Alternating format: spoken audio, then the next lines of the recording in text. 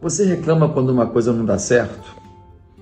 Você reclama quando você tenta, tenta muito e depois dá errado? Você reclama quando uma sociedade não vai para frente, quando um namoro não vai para frente? Você reclama quando você é demitido de uma empresa? Você reclama quando uma pessoa te evita e para de falar com você? Você reclama quando algumas pessoas não te convidam para um investimento que está todo mundo fazendo? Pois é, você que fica chateado, reclama quando certas coisas acontecem, é para você esse vídeo. Sabe por quê? Porque eu tenho um esclarecimento que pode mudar a tua visão sobre as coisas que dão errado. Por isso agora, vamos lá. Fica atento aí nesse vídeo.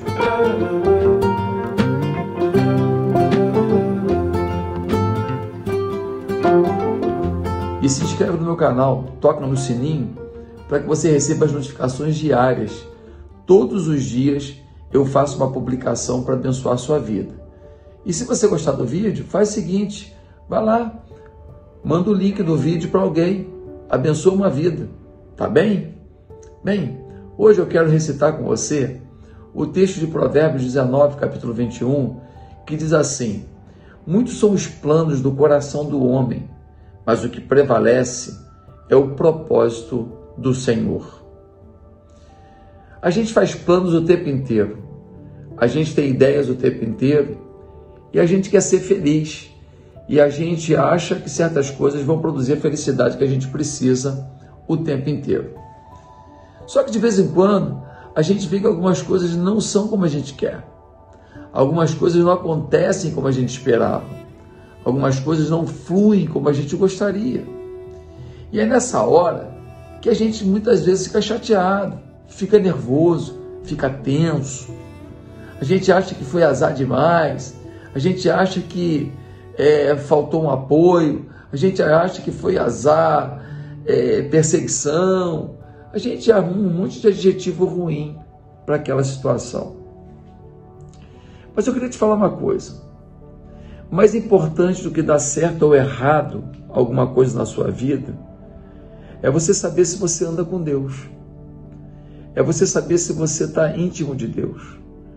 É você saber se você ama estar com Ele.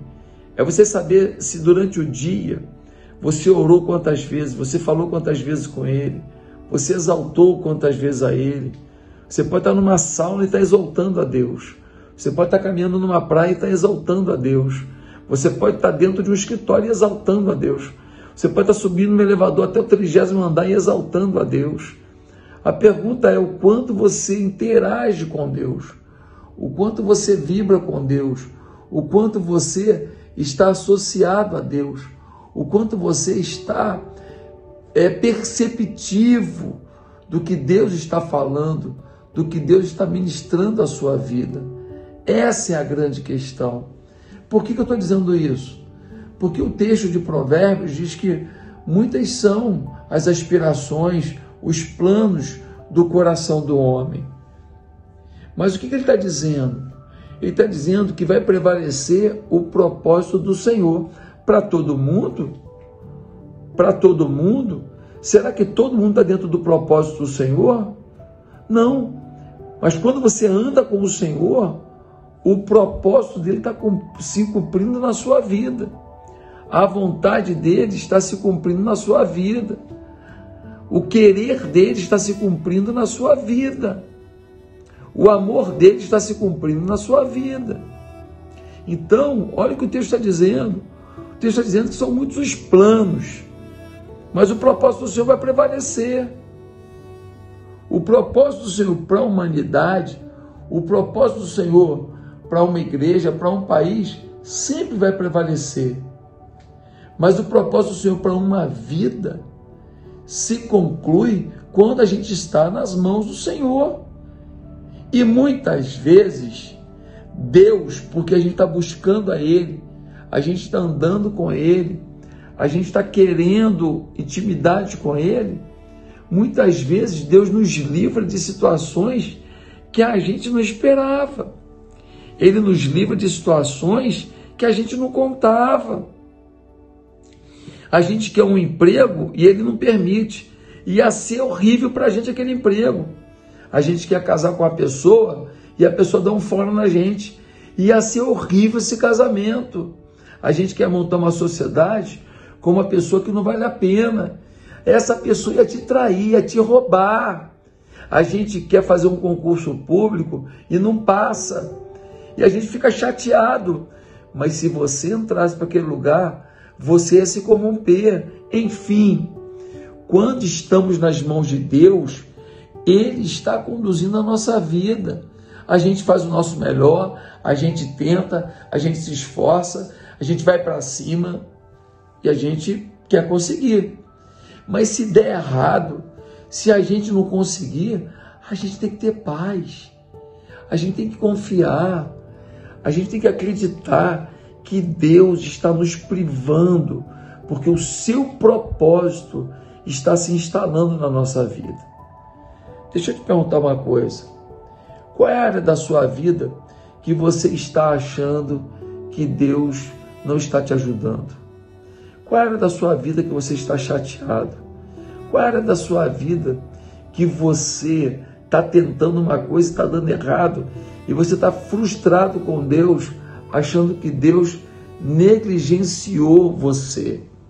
Qual é a área da sua vida que você estava para fazer um investimento, que você estava para fazer uma parceria, que você estava para fazer uma, uma conexão e a coisa não fluiu? e você está revoltado e meio triste com Deus. Ei, se você não anda com Deus, então pode ser que você perdeu uma oportunidade porque o teu pecado te afastou da oportunidade. Mas se você está andando com Deus, se você está orando, está lendo a Bíblia, está intimidade com Deus e alguma coisa não está acontecendo, ei, descansa.